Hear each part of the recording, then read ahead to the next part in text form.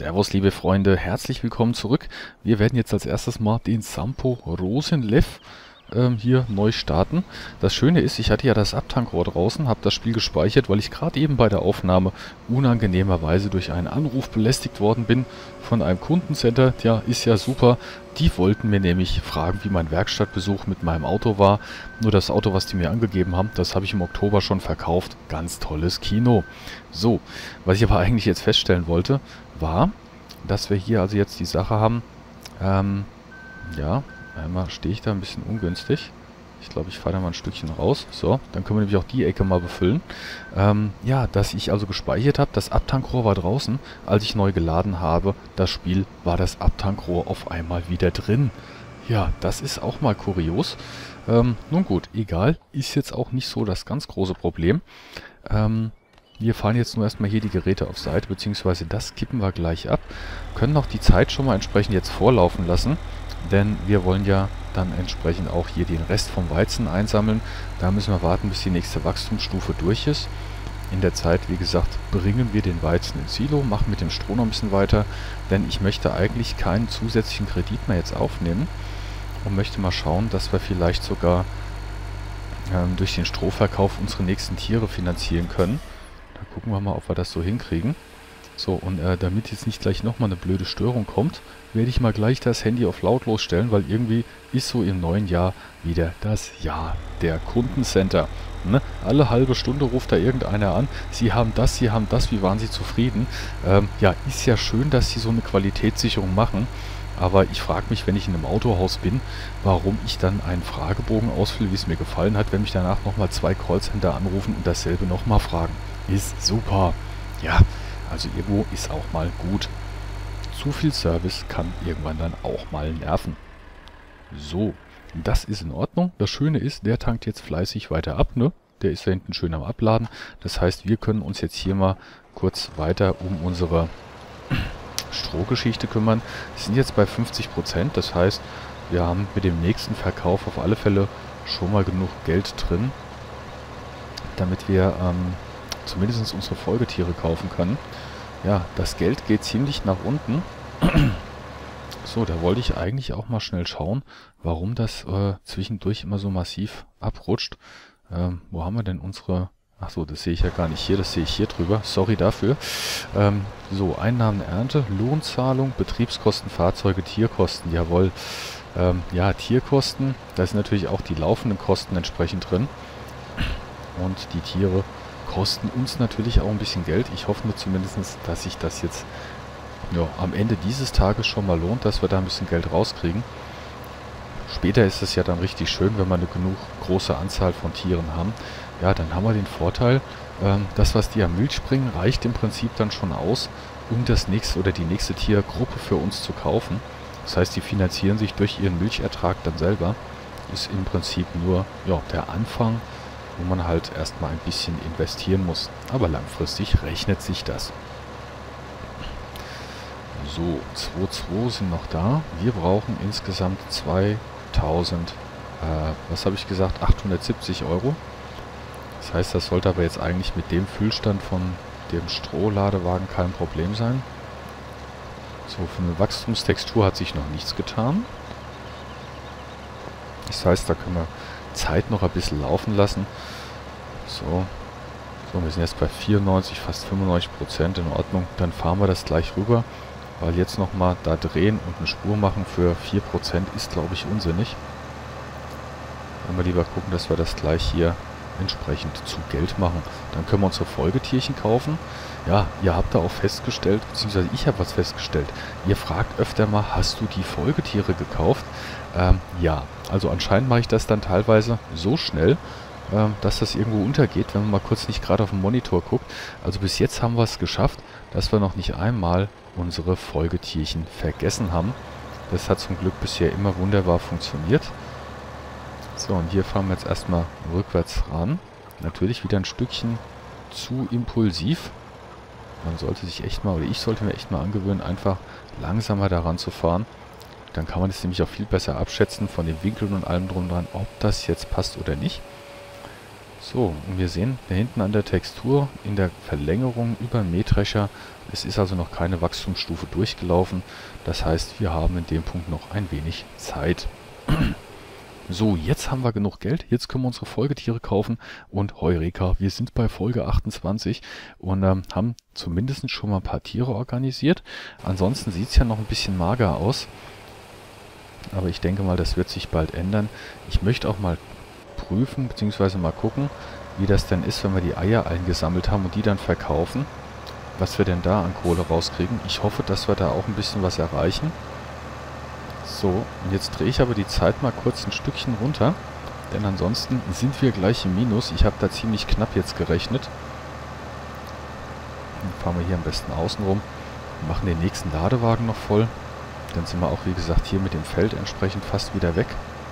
Und gut dabei. So, allzu viel Stroh haben wir jetzt hier nicht mehr. So, den kleinen Brocken nehme ich auf dem Rückweg mit. Ich würde sagen, wir fahren jetzt hier erstmal eine Runde weiter. Damit kriegt man nämlich ganz schnell wieder Geld rein. Die laufenden Kosten müssen ja auch gedeckt werden. Da von euch kam übrigens ähm, der Hinweis oder die Idee, wir sollten vielleicht mal gucken, ob wir uns eine Bienenzucht kaufen. Die produziert, glaube 30 pro Stunde, 30 Euro. Würde uns also auch in dem Punkt dann weiterhelfen, dass wir hier sagen wir mal zumindest die laufenden Kosten ein wenig abdecken könnten. Wäre eine permanente Einnahmequelle, nichts Großes, aber zumindest hätten wir dann ja so 720 Euro über den ganzen Tag und die Nacht verteilt eingenommen. Ähm, wäre also auf alle Fälle auch mal eine leichte finanzielle Verbesserung bzw. Entlastung. Aber da müssen wir natürlich jetzt erstmal Kohle sparen. so, und die Kohle, die wir jetzt hier einsacken, die werden wir auf alle Fälle erstmal benutzen, um entsprechend Feld 20 zu kaufen. Ich glaube, da machen wir eine normale Einsaat drauf. Dann dürften wir auch genug Geld dazu haben, das Schneidwerk zu kaufen für den Sambo. Da wollen wir ja das etwas größere Schneidewerk uns holen.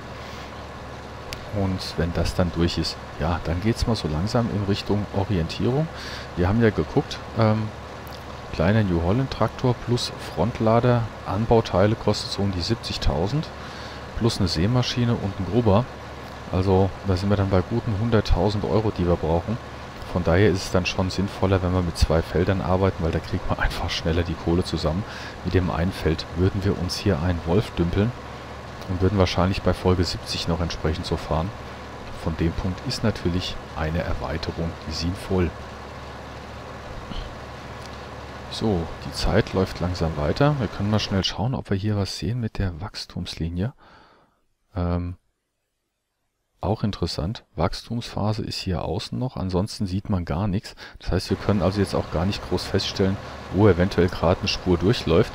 Wobei, wenn ich es richtig sehe, da rechts wird es wohl gerade erntereif. Aha. Das scheint hier gerade sich so langsam durchzuarbeiten. Das ist natürlich perfekt. Dann können wir nämlich doch gleich mit dem Mähdrescher hier loslegen. Das ist mal richtig gut. So, jetzt wo das erntereif ist, werden wir dann auch hier dementsprechend dann mal stehen bleiben. Dann ähm, lassen wir den mal da, wo er ist. Wir gehen mal kurz zu unserem Erntegerät. Ähm, ja, ich würde gern den Ernter nehmen, aber die stehen zu dicht beieinander, das klappt so gar nicht. So, ja, jetzt lässt er mich in den richtigen wenigstens einsteigen, das ist gut. So, das ist entsprechend schon geleert, das ist natürlich auch ein Vorteil für uns. So, und jetzt gucken wir mal gerade, also hier, das kann man ja schon mal entsprechend so aufnehmen. Da haben wir nochmal 1, 2 Reste. Ich hoffe, der spuckt jetzt nicht für die 3 Liter dann noch was an Stroh aus. Ne, gut. So, ähm, Strohablage ist ja noch eingeschaltet. Würde ich sagen, fangen wir hier an.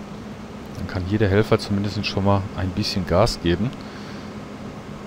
Ich möchte aber jetzt erstmal gern dabei bleiben, weil hier vorne dann im Prinzip das Ganze mit den Kurzspuren zu machen, wäre ein bisschen schwachsinnig.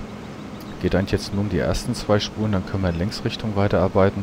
Das ist halt der Nachteil, wenn man hier dementsprechend diese kleinen Spuren hat. Ähm, ja, mit einer größeren Arbeitsbreite könnte man dann natürlich ganz anders ähm, hantieren. So, und ich denke mal, der Helfer wird wahrscheinlich sogar da hinten sagen, nö, das war's jetzt. Werden wir gleich mal gucken. Oder lässt er da noch eine Ecke stehen? Nö, ich glaube, der ist dann durch. Jo, ist fertig, gut. Ist ja für uns eigentlich optimal. So, jetzt spuckt er hier noch ein bisschen Stroh aus. Das war ein bisschen zu zügig, aber auch kein Problem. Wir werden jetzt hier außen den Helfer ansetzen. Dann kann der da entsprechend loslegen. Ähm, vielleicht in optimaler Arbeitsbreite das Ganze beginnen. Ungefähr hier. So, dann kann der jetzt loslegen. Ähm, wir spurten in der Zeit mal... Ne, wir spurten nicht. Da gehe ich so hin, weil ansonsten wird das einfach zu lange dauern. So, und dann gucken wir mal hier drüben. Ja, der war ja schon unten. So, und dann fahren wir erstmal hier drüben die zwei Ecken noch ein. Gucken, ob wir die überhaupt so auf dem Gesamten mitbringen. Ja, das sieht ganz gut aus. So, dann ähm, würde ich sagen, nehmen wir hier einen Anfang von der Spur einfach irgendwo. Weil jetzt ist es erntereif, jetzt möchte ich tatsächlich nicht mehr irgendwo drüber fahren. So, jetzt haben wir nämlich den normalen Ablauf wieder eigentlich. Und dann können wir jetzt erstmal hier ein bisschen einkassieren. Der Ladewagen ist jetzt zum Glück bald voll. Das heißt, dann können wir den auch im Prinzip gleich das Stroh abgeben und verkaufen.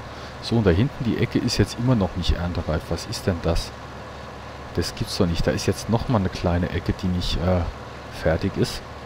Also das ist wirklich total blöd. Muss ich mal ganz ehrlich so sagen. Gefällt mir gar nicht. Überhaupt nicht. So, hier fahre ich jetzt mal den direkten Schwenker. Das sollte passen. So, dann haben wir das nämlich auch weg. Wir sind jetzt bei 83% und dann machen wir uns gerade hier hinten an die zwei Strohreihen noch. Dann können wir das Stroh schon mal verkaufen. Ja. Und der Ernte hat trotzdem schon fast wieder 40%, also da kommt richtig viel rein. Das finde ich auch super. So, dann nehmen wir erstmal hier die Reihe auf. So, Modelle. Dann können wir gleich den großen Schwenk machen. Mal gucken, ob wir das vor dem Mähdrescher noch schaffen. Uh, das wird eng. Ansonsten muss er eine Sekunde warten, aber ha, hat ja fast perfekt geklappt. So, da haben wir jetzt noch einen kleinen Rest. Das nehmen wir aber auch gleich mit. Und Strohwegelchen ist so gut wie voll. Passt eigentlich ziemlich gut. So, der ist jetzt am Drehen. Das heißt, da warten wir jetzt mal ganz kurz. Kann ich auch notfalls nochmal ein Stück zurückstoßen, weil da haben wir noch eine Ecke vergessen. Die nehmen wir dann gleich mit. So, auch erledigt. So, dann würde ich sagen, hier den Eckteil noch und dann hier gleich mal den ganz dicken Schwenk rein.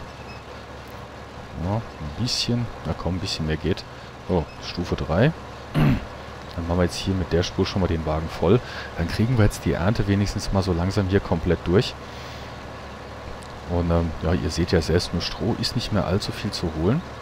Gut, der Wagen ist jetzt gleich voll, das ist schon mal ein Riesenvorteil. Warum jetzt blöderweise hier dieses Karree immer noch nicht erntereif ist, ja, das weiß nur der liebe Gott.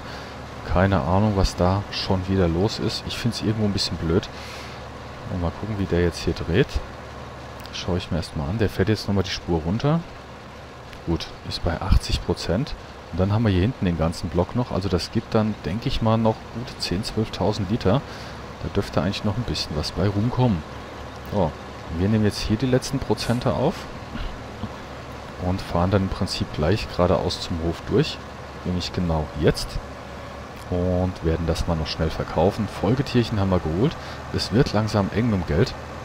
Aber ihr seht, noch kommen wir ganz gut hin. Und ich denke mal, in der nächsten Folge müssen wir dann einfach nur schauen, dass wir das Stroh noch fertig kriegen. Dann geht es langsam auch an den Weizenverkauf. Denn ähm, ich denke mal, das bisschen werden wir jetzt in der nächsten Folge fertig kriegen. Dann sollte das eigentlich hinhauen. So, und während der jetzt hier abtankt, werden wir dann den Mähdrescher für die nächste Folge entsprechend noch auf die passende Startposition stellen. So, dann ist das nämlich auch gelöst, das Problem. Und der läuft und läuft und läuft. So, hier müssen wir gerade ein bisschen rangieren. Das war etwas ungünstig. So, ich glaube, jetzt kommen wir der Sache näher. So, ja, das passt soweit. Hoffe ich. Einmal abkippen das Ganze. Wir schwenken mal rüber. Schnappen uns den Kollegen. Ne, den schnappen wir uns nicht. Wir schnappen uns den Rosenleff. Genau. Und fahren mit dem einfach jetzt schon mal die nächste Runde. So, dann nehmen wir nämlich da erstmal gleich die Längsspuren. So, und der ist jetzt auch schon fast voll. Dann werden wir das mal schön kombinieren. Da hinten haben wir ja unseren kleinen Kipper stehen. Und dann werden wir das hier im Prinzip so sagen, im Vorbeifahren mal auf die Schnelle noch rauspacken. Das Zeug. So, dann kann der da nämlich schon mal abladen. Wir können im Prinzip mit einem leeren Mähdrescher in der nächsten Folge dann starten. Das ist dann auch schon mal richtig gut. So, hier noch ein bisschen das Ganze verteilen. dass es einigermaßen gleichmäßig befüllt wird. Zumindest optisch. Im Endeffekt sieht es ja dann am Schluss sowieso äh, immer gleich aus. Von daher ist das Latte. Aber es soll ja wenigstens auch so für während dem Spiel so ein bisschen ja, anständig verteilt aussehen. So, dann klappen wir hier noch das Rohr ein. Das passt. Ein bisschen Kohle haben wir wieder drin. Ihr seht, so der ganz große Engpass ist nun erledigt. Ähm, und wir fahren jetzt, ich äh, sage ganz ehrlich, ich pfeife jetzt auf das Karree, ob das erntereif ist bald oder nicht. Wir fahren jetzt hier in den Startpunkt. So und werden hier dann in der nächsten Folge mit der Ernte loslegen. Dann haben wir die Spur oben noch, das Querstück, da dürfte noch ein bisschen was reinkommen. In diesem Sinn, ich freue mich auf die nächste Folge. Dann hoffen wir mal, dass der Weizenpreis passt, dass wir das auch abstoßen können. Und während der jetzt hier die Ernte dann durchzieht in der nächsten Folge, werden wir noch ein bisschen Stroh weiter einsammeln. Wir wollen ja die nächsten Folgetierchen kaufen, dafür brauchen wir noch einen vollen Strohwagen. Und in dem Sinn arbeiten wir uns voran. In diesem Sinne, danke fürs Zuschauen. Bis zur nächsten Folge. Servus und Tschüss.